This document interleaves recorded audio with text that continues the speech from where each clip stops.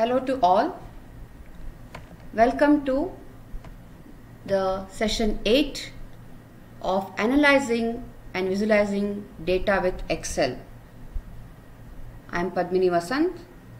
Dear students, I hope you have been practicing on the details which have been already covered under sections 7 and other sessions. So let us start today very interesting module wherein we will be discussing in detail about the various formulas which can be used in using Excel spreadsheet. Mind you dear students, these formulas can be used in any software consisting of spreadsheets. So let us start.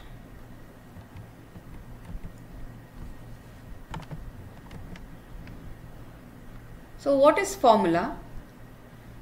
So these standard operators usually include additions, subtractions, multiplications, division and exponents. Let us understand these with an example. Now if I want to add simply just like an, any other calculator we can use the numerals.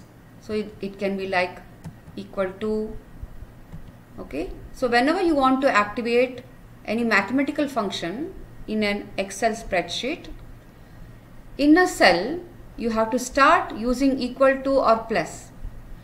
So equal to say 2 and plus 5 so and then enter you will get the answer.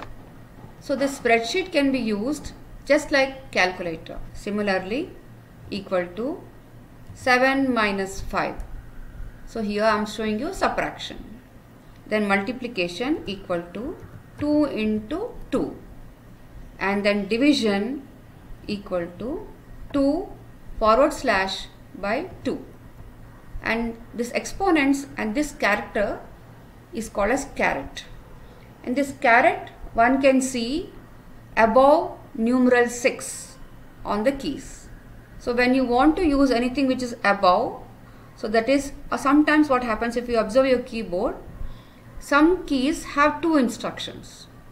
So one is can be used as such, the other instruction has to be used by using shift key. So in the case of caret that is exponent, you have to use the shift key. So let us take it up. So equal to 2 exponent 2 that is 2 to the power of 2 that is nothing but 4. So in this way you can see my dear students. So I have showcased you the various operators which are which can be used in an Excel spreadsheet. Now let us work upon a simple task. So I have a menu order here and I need to calculate the total. So it is very simple equal to click upon the data where you have the price. So this is called as a cell reference so this becomes B8 for the cell reference into, so into is the asterisk mark. And then you have to also select the reference, cell reference that is C8 to calculate the quantity and just say enter. And if you observe because I have already formulated, formatted this with respect to the rupee symbol, hence the rupee symbol has come then just double click or drag it. And you will you can no need to calculate again because in the case of Excel if a formula has been initiated in one cell the same can be copied.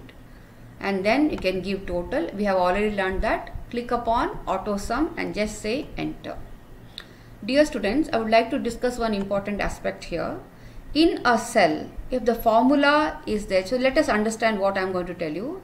Suppose I have a 6 number I have just entered a numeral and I want to put a formula here. Okay just observe that. Suppose I copy I am using control C and just say enter. The text is copied.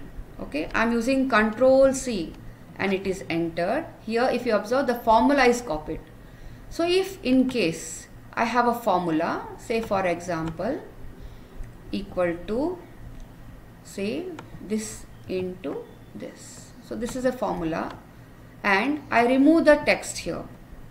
Okay, so if you observe in a cell the precedence is given to formula rather than the text. So you may delete a text or the information in a cell reference but the formula cannot be deleted.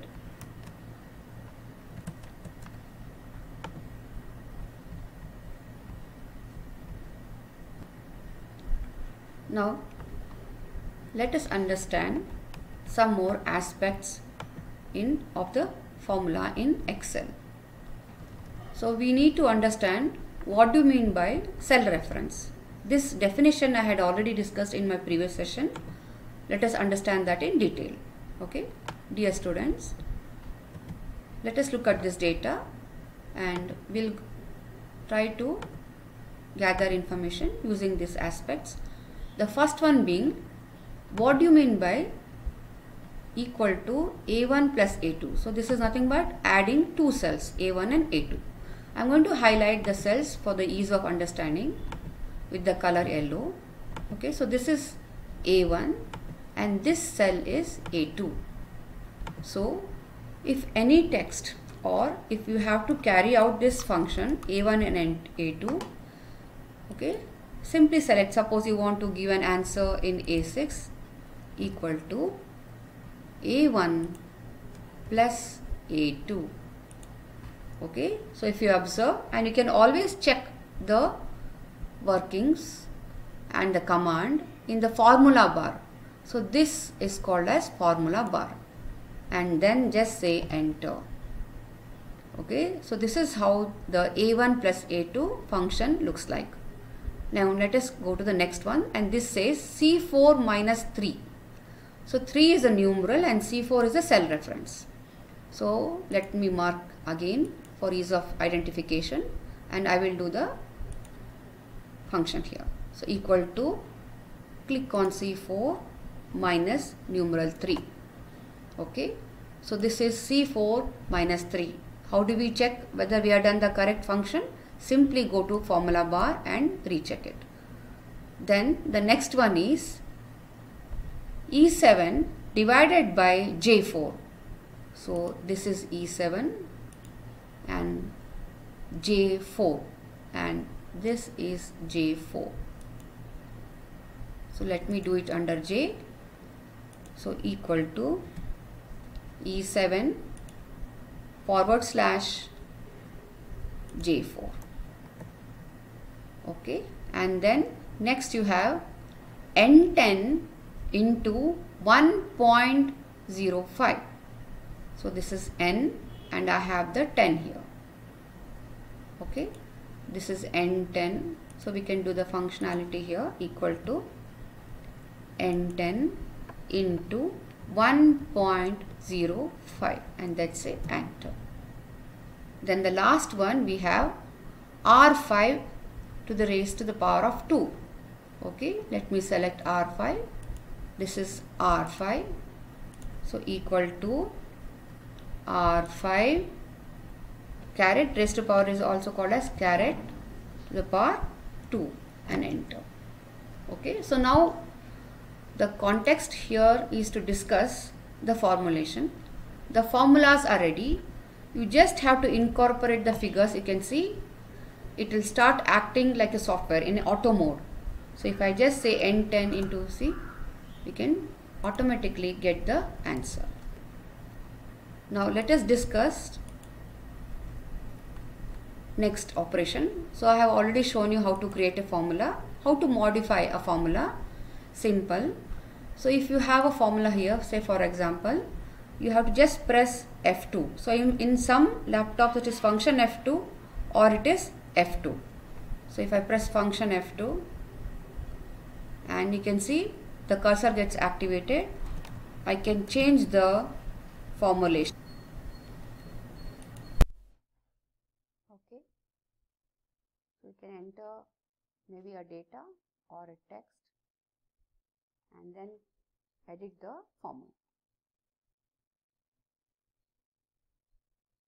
And this point and click method, this is nothing but terminology used when we select a cell reference with the help of the mouse.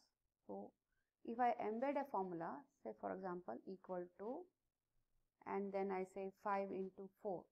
So, this is not a point and click method, but if I use the mouse equal to, so this, this cell reference into, so B48 into C48. This becomes using point and click method. And as usual, we can drag it, we get the data subsequently. Next, we shall discuss with an example formulation of a complex formula. So, here if you observe, so this is the data which has been keyed in wherein the Excel spreadsheet has to use BODMAS in order to arrive at the result. So, you can just say enter you can you can see as the Excel is already having the software to apply BODMAS hence we didn't give it individually.